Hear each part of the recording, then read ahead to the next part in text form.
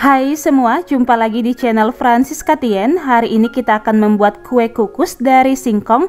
Ini enak banget, lembut dan cara membuatnya juga sangat mudah. Nah, untuk bahan pertama kita gunakan 315 gram gula pasir atau sekitar 15 sendok makan. Kemudian kita tambahkan 1 sendok teh garam, Lalu kita tambahkan juga 1 sendok teh pasta vanila, kalian juga boleh menggantinya dengan vanili bubuk. 160 gram tepung tapioka atau tepung kanji, ini sekitar 16 sendok makan ya. Dan 1 kg singkong ini berat bersih setelah dikupas dan diparut ya. Masukkan ke dalam wadah. Oh iya, jika singkongnya kebanyakan air setelah diparut, teman-teman bisa langsung disaring atau diperas ya. Lalu kita gunakan 650 ml santan kelapa segar. Ini juga kita masukkan ke dalam wadah. Setelah itu langsung aja kita aduk hingga semua bahan tercampur dengan rata. Pastikan gulanya benar-benar larut ya. Dan sekarang adonannya akan kita bagi rata menjadi dua bagian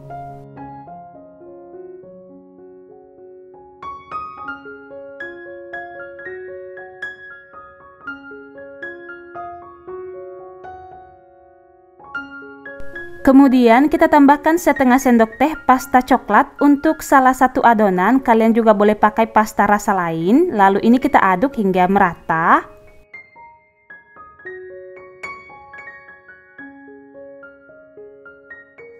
Setelah itu saya gunakan setengah sendok teh pewarna makanan. Saya pakai warna putih boleh juga pakai warna lain. Kemudian ini kita aduk hingga tercampur dengan rata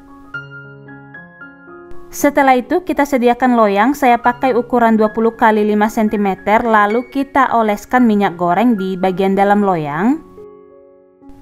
Masukkan loyang ke dalam kukusan yang sudah kita panaskan sebelumnya.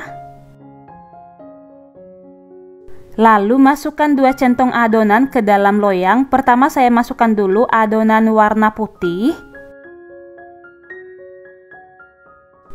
Kemudian tutup dan kukus selama 7 menit. Setelah itu masukkan 2 centong adonan rasa coklat, ini kita ratakan. Kemudian kita tutup dan kukus selama 15 menit ya. Setelah 15 menit buka kukusan dan ini aromanya harum banget, kemudian keluarkan dari dalam kukusan. Kemudian kuenya kita keluarkan dari loyang dan pastikan kuenya dingin dulu baru dikeluarin dari loyang agar tidak lengket ya. Dan sekarang adonannya langsung aja kita gulung. Ini ngegulungnya gampang banget. Oh ya sambil ngegulung adonannya Kalian juga bisa sambil ngukus sisa adonan yang tadi hingga habis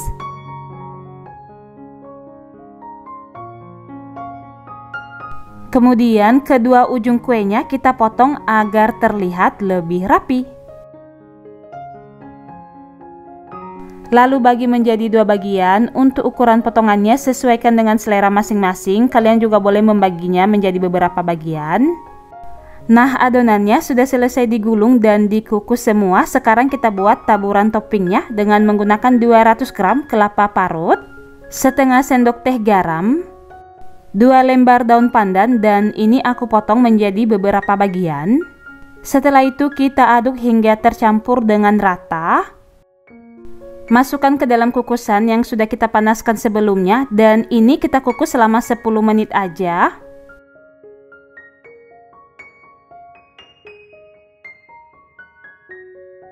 Setelah itu kita ambil adonan lalu kita baluri dengan kelapa parut. Jadi kelapa parut ini dikukus tujuannya agar tidak mudah basi.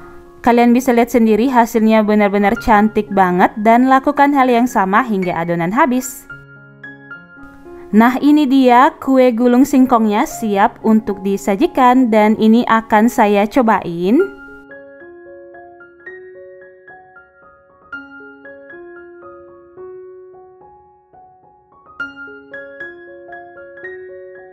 Hmm, ini rasanya enak banget, lembut di dalam mulut, kenyal dan manisnya juga pas. Kue ini sangat cocok buat teman ngeteh atau ngopi rasanya benar-benar mantul banget dan ini juga bisa kamu jadikan ide untuk jualan. Oke teman-teman selamat mencoba resepnya. Jika suka dengan video ini silahkan like dan subscribe agar tidak ketinggalan video terbaru dari kami. Terima kasih.